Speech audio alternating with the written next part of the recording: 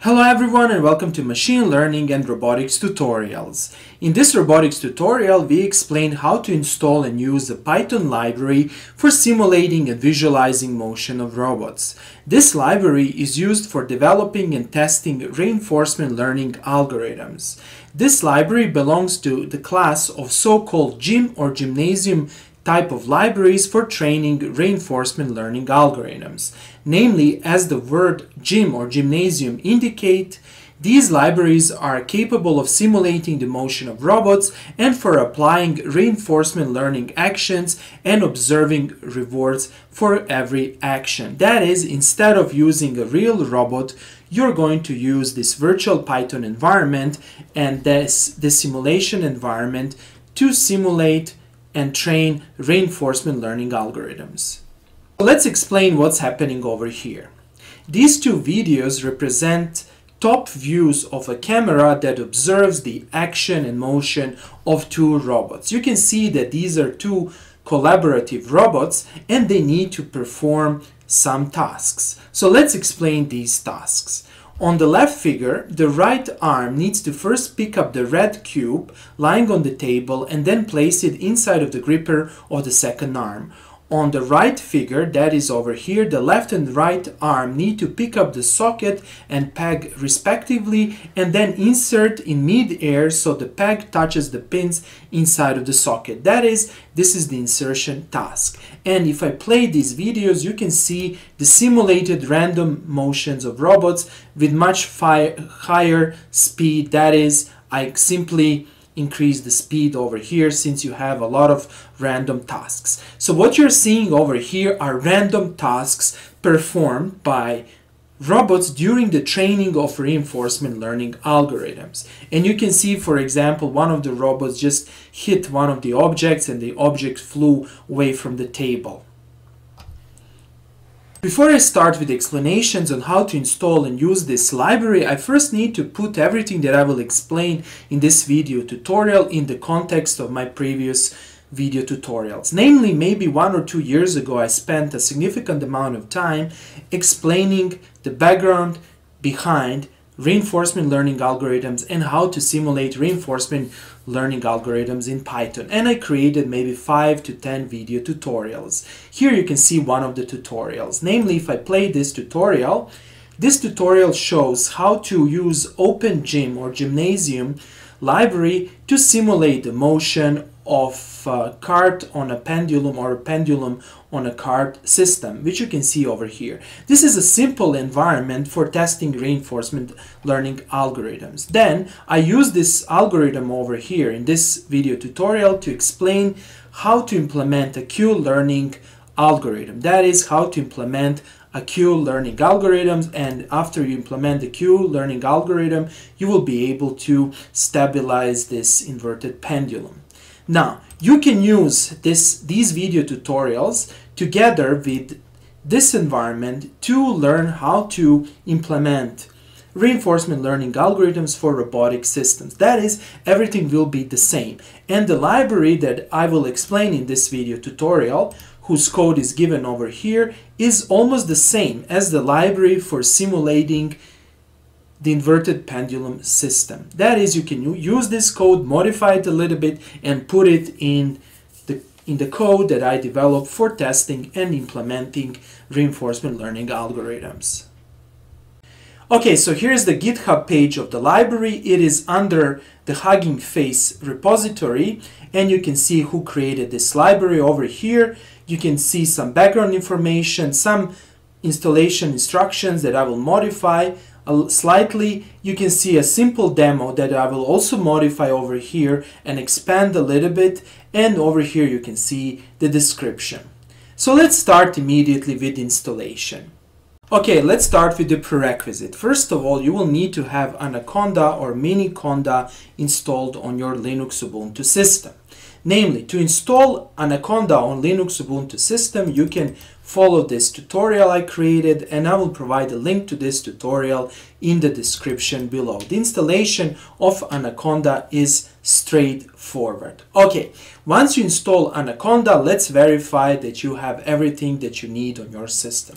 So open a terminal And over here in the terminal, you need to type this, conda activate. And if you see this base environment, this means that Anaconda or Conda or Miniconda are properly installed on your system. Let me now get out of this environment and let's continue with installation. Then verify your Linux Ubuntu system. You can do it like this. You can see that I'm running on Ubuntu 24.04. Now also verify that you also have the GCC compiler here it is. It should come with Linux Ubuntu. Next, let's make sure that we have Git installed on our system such that we can download the remote files and repositories. You can install Git by executing this command, enter the password, and continue. Next, make sure that you're in the home folder by typing this command, and then in the home folder you need to clone this remote repository. So type git clone and this address. If you cannot find this address, simply go on Google and search for Gym-Aloha GitHub page. That is, here's the GitHub page. Then over here, copy this, paste here, and you just need to paste after git clone. That's it. And this will download the remote repository. Now, if you type this command, you should see over here a folder called Gym-Aloha. So let's navigate to Jim Aloha and let's see all the files. The files over here are the exact copy of the files on the remote repository. Okay, so the next step is to create our Anaconda virtual environment and to install all the packages. To do that, you need to execute this command. So let's do that and this will create Anaconda virtual environment. Consequently, be patient. Good. You can see also that the environment is activated and now you can install all the dependencies, libraries and packages by simply executing this command. And you can see over here that a lot of stuff is being installed. You can see all these packages that are necessary to use Gym-Aloha. So let's type pip list to see all the things. You can see how many things we need to run Gym-Aloha. Good. The next step is to write a test code. However, let's explain first several important things. Let's go over the description of this environment. There are two tasks in this environment as explained at the beginning of this video tutorial. The first task is to transfer a cube from one arm to another and the second task to insert two things. That is to insert for example bolt in a hole or something similar. Let's talk about action space. Action spaces are very important. Here it's written that the action space consists of continuous values for each arm and gripper resulting in a 14 dimensional vector. Good so we have six values for each arm's joint positions and we give absolute values. So what are these things? These are basically the values or pulse width modulation signals that you're sending to the servo motors in every arm or to a stepper motor or whatever the motor is in a particular robot. And then we have one value for each gripper's position normalized between 0 and 1. That is, you can open and close the gripper. So you have for every robot arm 7 control variables. You have control for motors and one to open or close the gripper. And then you have observation space, which is also very important. Observations are provided as a dictionary with the following keys. Q position and Q velocities. These are the position and velocity data for arms and grippers. Namely, every robot should have an encoder or some feedback mechanism or a sensor giving you information about angle of rotation and velocity and that's what's given over here then we have images and we have camera feeds from different angles so what you can get you can get camera from the top left right bottom or you can probably even define your own camera and then you can get the environment state, additional environment state information such as position of the peg and sockets. And here's one very important thing I noticed. This current implementation of this library is actually not giving you all these things as a feedback information. It's only giving you actually the top image. And I looked into the environment.py file and I realized where the issue might be. The issue might be in this function format raw observation, namely this function only extracts the top view and disregards other things. Namely, instead of this, you can probably use raw observation or something like that. The raw observation or similar function should give you everything that you need. And this is something, or yes, so this environment.step function, evident action, will give you raw observation. And this data structure, raw observation, actually contains all these things. However, the observation itself doesn't contain. However, here for illustration, it's just enough for you to test this library and later on you can improve it or you can fix if there are some issues. One, I'm not 100% sure about this, however, this is what I noticed by just running the library several times. Okay, and then you have rewards you have different type rewards for transfer cube task and insertion task. Of course, the maximum reward will be get will be given for points for a successful transfer without touching the table. And for insertion task, 4 points for successful insertion of the peg into the socket. And you get incrementally po every point an additional 1 point for every successful completed task. Okay, and then you have some additional arguments, etc. Good. Now that we understand this library, let's write a test code. To write a test code, use your favorite Python editor. In my case, I'm going to use Visual Studio Code, and I'm going to start it like this.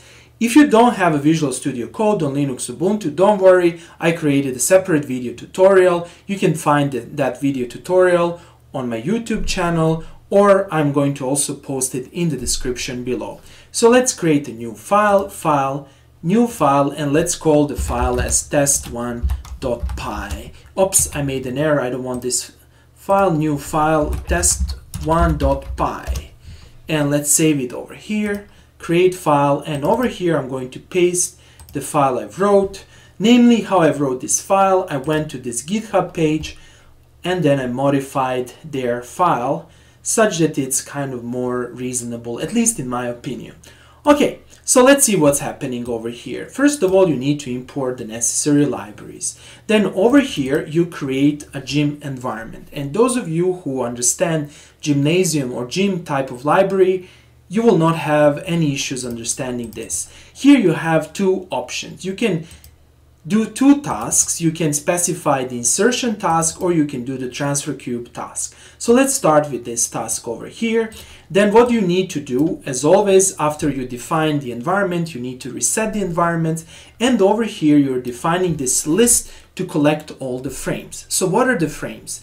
The frames are actually camera snapshots from the top view. That is, after every task is completed or after every motion is completed, or every action is performed, we are going to take with the camera a single, single snapshot and we are going to store it inside of the frames. Later on, as you can see over here, we are going to use the frames to create a movie. And at the end of this execution of this code, you will have a nice movie demonstrating the robot action. Okay, so what do we do over here in this for loop?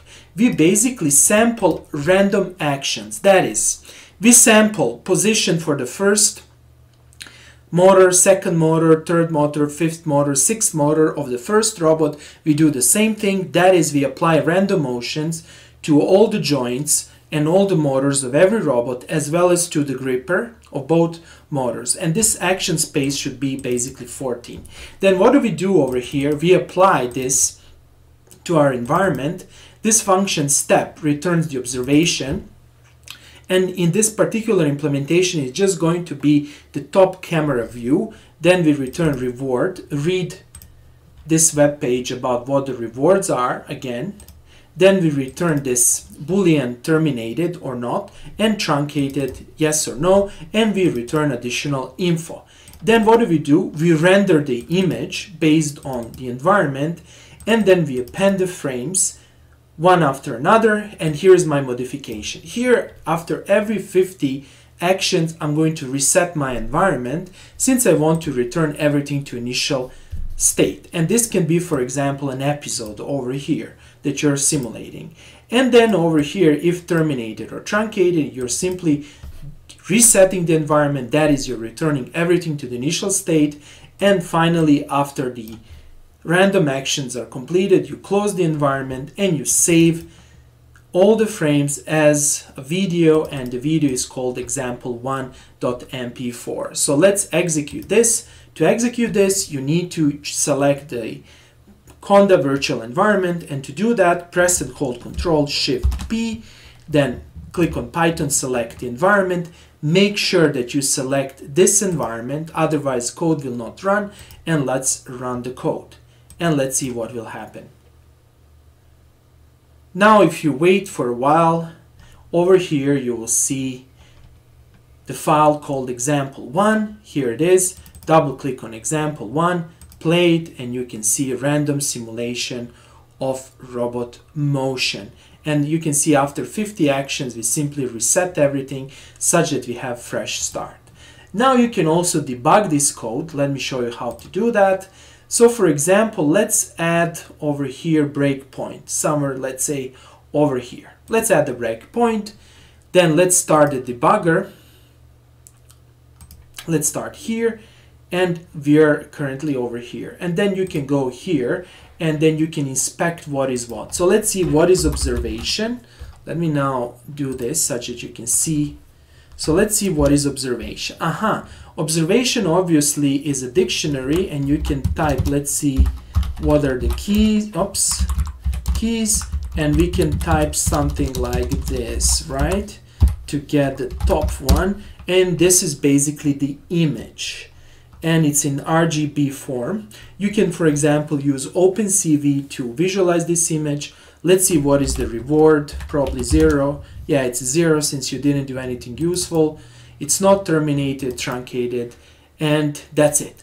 Okay, this was a brief introduction to this amazing library. As I mentioned previously, you can use this library and a simple code that I wrote to write your own reinforcement learning algorithms. However, you will probably also do a few additional things, maybe develop a computer vision system for detecting the position of the cube or some other objects. Okay, that's all for today. Thanks for watching and see you in the next video tutorial.